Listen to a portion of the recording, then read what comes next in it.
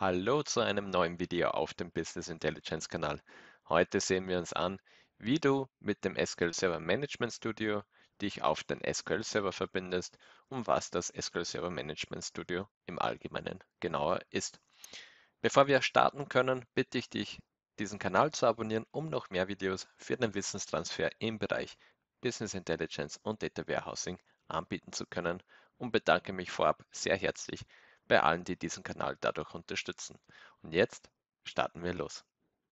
Wie eingangs erwähnt, möchten wir uns im ersten Punkt ansehen, wie man sich auf einen SQL-Server verbindet, um als nächstes zu besprechen, was das SQL Server Management Studio, diese Software, im Detail ist.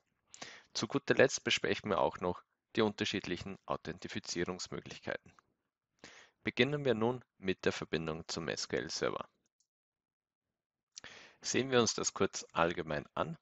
Und zwar, wenn ich das SQL Server Management Studio, diese Software, starte, dann erhalte ich zunächst ein Fenster, in dem ich drei Möglichkeiten zur Auswahl habe. Und zwar betrifft das den Servertyp, dann den Servernamen und die Authentifizierungsvariante. Beginnen wir mit dem Servertyp und zwar steht hier zur Auswahl die Database Engine. Darüber hinaus gibt es auch noch die Analysis Services, die Reporting Services oder auch Integration Services. Und diese Varianten werden wir auch gleich praktisch am SQL Server sehen. Als nächstes steht zur Auswahl der Servername. Bei der Angabe vom Servernamen muss die konkrete Adresse angegeben, auf dem sich der SQL Server befindet. Diese kann am lokalen Rechner liegen, dann muss man für diese Adresse die IP-Adresse 127.0.0.1 angeben oder auch einfach mit localhost. Es kann oder es wird sehr wahrscheinlich in einem betrieblichen Umfeld der SQL-Server in einem Netzlaufwerk oder in einem dezidierten Server sich befinden und muss deshalb beim Datenbankadministrator nachfragen, wo unter welcher Adresse der SQL-Server liegt. Zu guter Letzt gibt man noch an die Authentifizierungsmöglichkeit. Und zwar stehen hier folgende Optionen zur Verfügung, je nachdem, mit welcher Variante der SQL-Server installiert wurde. Wenn bei der Installation die Authentifizierung im gemischten Modus gewählt wurde, verfügt man sowohl über die Windows-Authentifizierung als auch über die SQL-Server-Authentifizierung. Andernfalls kann man sich nur mit dem Windows-Authentifizierung verbinden. Sehen wir uns das nun praktisch mit dem SQL Server Management Studio an.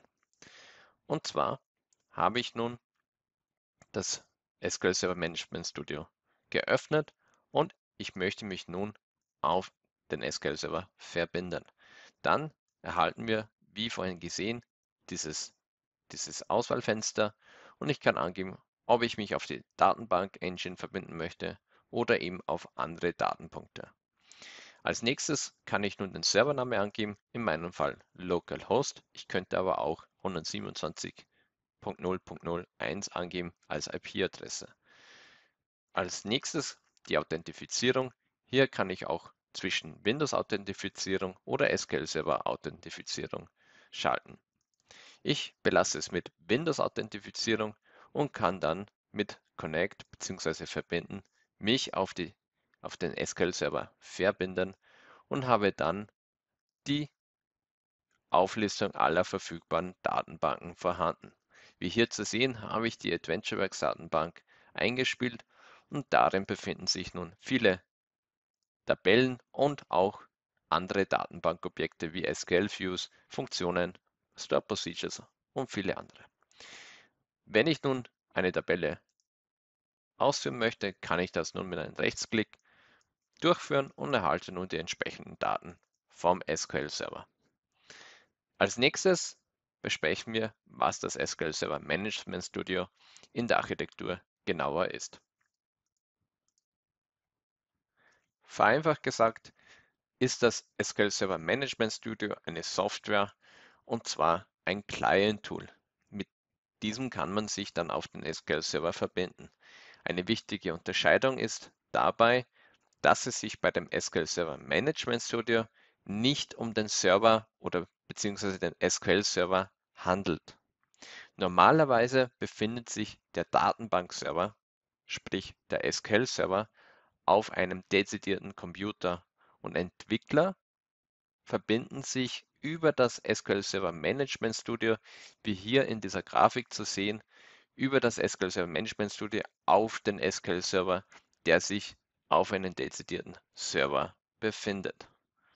Wie ihr seht, gibt es eine wichtige Unterscheidung zwischen dem SQL Server Management Studio, der Software, welche gratis zur Verfügung steht, und dem SQL Server, welche in der Entwickler- oder Express-Variante zur Verfügung steht. Ich hoffe, ich konnte euch damit dieses Thema näher bringen. Falls ihr Fragen dazu habt, hinterlasst mir einfach einen Kommentar. Ich werde euch antworten und freue mich sehr, wenn ihr auch im nächsten Video mit dabei seid und wünsche euch bis dahin alles Gute und viel Erfolg.